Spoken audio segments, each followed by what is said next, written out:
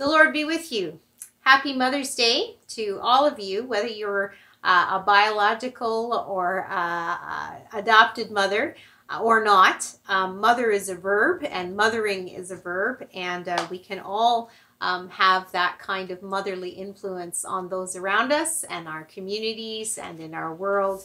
And uh, we thank God uh, for um, those motherly ways, and uh, we pray that we can exert those um, in our own lives and in our own communities. I need to say thank you to everyone who contributed very personal and precious memories and thoughts uh, to this service.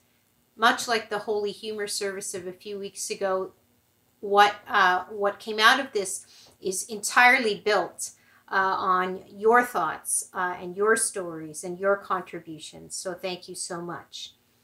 There will be, as part of the service, uh, a brief history uh, of Mother's Day.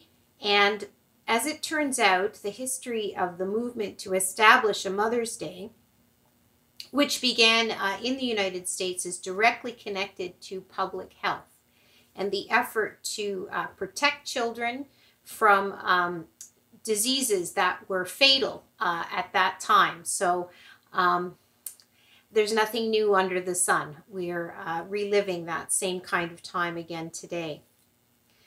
Uh, I would just say, uh, please, please do exercise caution. We know that the province, things are beginning to open up more and more. Uh, our parks will be open. Um, people can um, do more shopping and so on and so forth. Uh, but we really must uh, continue to exercise caution to protect ourselves and our communities. So uh, remember to practice that physical distancing, um, to not really go out uh, more than you need to, to wash your hands, to avoid touching your face, all those measures that we're already tired of, but that we really need to keep practicing. Uh, and so we'll begin now with a poem Joan May is uh, so good at our meetings. She always has uh, a verse or a poem uh, to share with us to begin our meetings. And uh, so I thank her for lending me um, one of her books. And this poem is called Mother's Garden. And it's written by Linda Ward of Eureka, California.